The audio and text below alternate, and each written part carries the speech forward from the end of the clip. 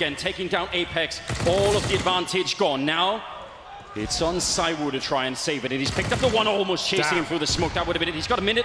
He can go a lot of places with this. He could go towards A Yes. still. He could bait this out. They're both towards short. Brehze's low as well. And these are the sort of rounds ZywOo is a specialist in. Oh, the grenade is beautiful. Oh, he's going to line them up. He's done it!